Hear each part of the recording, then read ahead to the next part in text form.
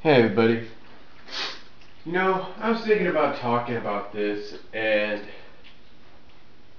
as crazy as it sounds,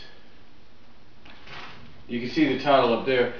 Everybody wants to know my thoughts on what's been going on lately in the WWE. Well, not everybody wants to know my thoughts, but I thought I'd give my thoughts. Um,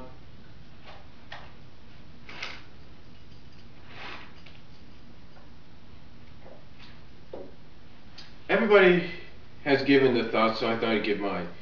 Uh, first of all, let me talk about, and you can probably see down there what I'm going to talk about a little bit. Let's talk about the newest heel turn, if you will, in the WWE, and that is out of the Divas division. That heel turn going to Eve. You know, everybody wants to know why WWE probably did that. And why deciding to go with Eve instead of somebody else? Well, here's what's funny about that. And this may sound strange, but as anybody probably knows by watching my videos, I've talked about a certain character in a comic book being turned into a robot and how that didn't make no sense and that there was no hints or anything beforehand in any of the issues before the incident, before that happened, to indicate that that was the direction they were going in. No hints whatsoever, nothing. And then it happened. You know, yeah, some people could probably watch this video and say, well, they had that silhouette and the question mark. But that could have been anything at the time. Even though pretty much we all figured out who and what it was going to be, again, again, it just came out of nowhere. This, however, with Eve in the WWE made a little bit more sense because you saw it was coming. You kind of got hints and glimpses of it last year when she lost the Divas title, and they had that little backstage segment where she's telling Tamina and uh, I think Gail, who was with the company at the time, that all the Divas are out for themselves. And you kind of saw a glimpse and kind of kind of a sneak peek, a glimpse, if you will, at a possible heel turn. Yet they didn't pull the trigger yet. And then, and then lately with the whole Zack Ryder deal, you pretty much had an idea that something may happen, but you didn't know what. And then when the whole situation with Kane came about, that's when you knew something was going to happen. And then especially the week before. So you kind of had a clue, but it wasn't until the week before that you kind of had an idea of why this was all happening, why all of a sudden Eve was being involved in the storyline. I'm sure, again, I'm sure a lot of people will say, well, when we saw Eve get involved in the storyline with Kane and John and Zack, that kind of gave us an idea something was not something that she was going to turn heel, that something was going to happen and she was going to turn heel. That's true. You pretty much saw that coming. But it wasn't but you weren't 100% sure yet, right? Until the week before. So even though there was a glimpse and clue, sort of a glimpse, a sneak peek, if you will, at a possible heel turn the year before, you got sort of a confirmation that it was coming when this whole thing with Kane started to go down. So and then if you watch the WWE.com exclusive, you kind of get the idea now. Now, does it make sense that they wanted to use Eve instead of someone like, say, Kelly Kelly? Of course it did. Because you got to think of it this way. Rumors were going, rumors were swirling about last year that one of the top babyface divas was going to go heel. Everybody assumed it was going to be Kelly Kelly, but nobody assumed it was going to be Eve. Now, like I said, you got a glimpse, sort of a hint, if you will, that she was going to be the one, but they never yet kind of pulled the trigger until just recently. So, unlike what we saw in a comic book, which just came out of nowhere, even though you had a silhouette on a preview cover kind of indicating that what's going to happen, never in any of the issues leading up to that did you ever get a clue or a hint or even any idea that that was going to happen, that that character was going to go into robot mode for who knows how long. But here, as soon as you saw that she was involved with the whole Kane situation, you pretty much had an idea that she was going to go heel. Now, I know a lot of people will say, well, ever since Zack started associating with Eve, you pretty much knew she was going to go heel. No, you didn't. You didn't know that. You didn't know that until she started getting involved with the whole Kane situation. Only then did you start to realize something was up. And then, especially after the week before on Raw, when she kissed John Cena the way she did, that right there clued you in that something was that she was going to go heel. And guess what? She did. Now, apparently, one of the questions a lot of people are asking is with the upcoming house shows, how are they supposed to work around that, seeing as though she's scheduled to face Beth for the title? Well, one of the house shows recently in Los Angeles, she didn't compete. No, she didn't compete, not once. All she did was come out, cut a heel promo, and that was it. And the person that took her place was Brie Bella. Brie Bella, one of the Bella twins, who, believe it or not, had like a look of shock on her face on Raw. So could we be seeing a Bella twins face turn? Maybe, maybe not, but seeing as though Eve's now a heel, it might make sense. Might, I should say. Anyway, how's this going to work out for Eve? Well, there's a few ways they can go with Eve here. One, she will be a heel, but who does she feud with? Well, the more logical sense would be she's probably going to start out with Kelly Kelly. Seeing as though her and Kelly were BFFs, she might as well be the best logical place to start. But how would it start? Well, obviously, it'll probably start with jealousy, right? Maybe she'll come out and say something like it should have been her on the Maxim magazine and Kelly took it away from her. And maybe down the line she'll involve Beth in the whole in a feud. And who knows with Beth, that'll turn Beth face again, right? And why would it turn Beth faith, uh, face? Maybe because she'll blame Beth for taking her title shot against Kelly at Hell in the Cell. Maybe, who knows?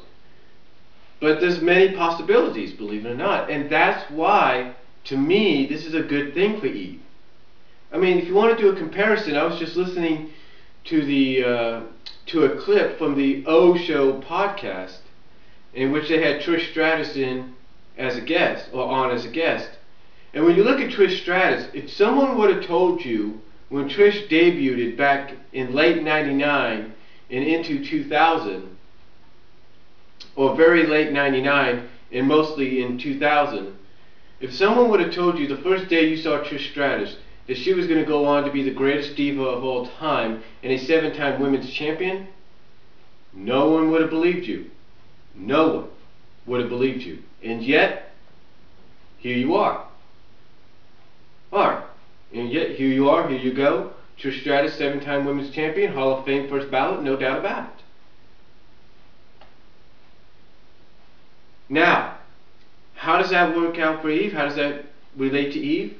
Well, Eve, just like Trish, kind of started out differently. No one probably thought she'd ever be Divas champion. Look what happened. She was Divas champion twice. So what does that mean? Does that mean this whole heel turn is to help elevate her to the to the position of becoming a seven-time Divas champion, maybe eight-time Divas champion, or at least the only diva to win the Divas title more times than any? Probably. There's so many possibilities this could go with. But the way you got to start with it, though, is you got to start out with Eve feuding with somebody in the Divas division and me, in my honest opinion, the most likely choice would have to be Kelly Kelly. Yeah, we haven't seen Kelly in a while. Since, I mean, she's been here and there, but we haven't really seen her that much. But I'm pretty sure when she ever she returns, Kelly is going to be the first one she feuds with. Maybe she'll start out with Alicia at first, then she'll go to Kelly, but that's about it. It, and then she'll probably go to Beth, which could turn Beth face. I'm not saying it would. But it would make sense if you think about it. If they're trying to push Eve to that next level as being the next Trish Stratus or the next Lita, if you will. Not technically, rest, not wrestling technical wise, but more of a character wise. Now, speaking of other developments news, uh, some other news going on in WWE. Apparently, we are going to have a Hell, uh, Triple H and Undertaker 3 at Mania. The only thing is, it's going to be Hell in a Cell. Which kind of tells me this could be it for Taker. Now, yes, there's no doubt, hopefully, they're going to book him to win. And if they do, which they should, he's going to go out on top as the greatest Hell in a Cell competitor, as well as go out on top 20 and 0. This is indeed his last match. Now, the question a lot of people have is how exactly are they going to even get to sell there? Believe me, if they could, believe me, they could figure something out. They will figure something out. Believe me. They probably already have something in mind. They wouldn't be adding the idea of doing Hell in the Cell at Mania between these two if they didn't have something already in mind. Now, the thing is, is it going to be good or is it going to be bad? I think it's going to be good. I think it's going to be good. I think we're going to have a knockout, drag-out affair. I think they're going to go outside the cell, and I wouldn't be surprised if they go on top of the cell if they want to take it to that level to finish this error, if you will, once and for all. So, my thoughts are, despite how people may feel about it, I think we're going to have a decent, if not probably one of the greatest Hell in the Cell matches in history. But then again, that's just my opinion. Other development, other, other developing news probably relating to WrestleMania. Well, a lot of people are saying we're probably going to have Laurinaitis against Teddy Long. No. Rumor going around, news source going around, is we're going to have Team Long against Team Laurinaitis. In other words, you're going to have a team representing John Laurinaitis, which is going to be consisting of heels, and a team consisting of baby faces representing Teddy Long. Now, depending on which direction they go with with this whole storyline, it's totally up to WWE Creative. But we'll just have to see what happens. But that's the news going out from there. Now, apparently, we also have possibly an Intercontinental Championship match in the making between Big Show and Cody Rhodes for Mania. That could be what happens. I mean, why are they doing this with Cody Rhodes and Big Show right now? Oh, with this whole WrestleMania embarrassment moments. Makes you wonder, right? And, um, and, and there's rumor going around that they're going to have a Divas match. But the thing is, a creative feels as though they don't want to have a Divas match on the show because it might take away from the rest of the show. Oh, take away momentum, if you will, basically decrease the momentum. But then again, they still might have it, so that's kind of up in the air. Whether it'll be on the show or it'll be a pre-dark match. You know what I'm saying? Um, and as far as the championship matches go, I guess WWE's letting Sheamus and Daniel Bryan have theirs to make up for not having the U.S. title match on TV last year. So that kind of helps out. I just hope it's not the opening match, but it probably will be. And as far as Jericho and Punk goes, I'd have to say that's going to be a great match.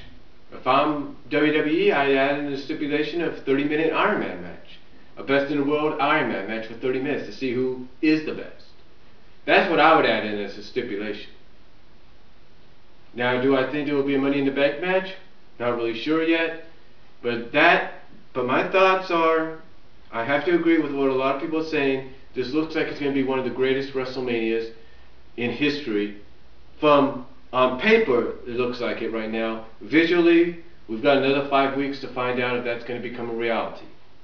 But that's my thoughts on what's going on in the WWE right now. So comment down below, video response if you like, and I'll talk to you later.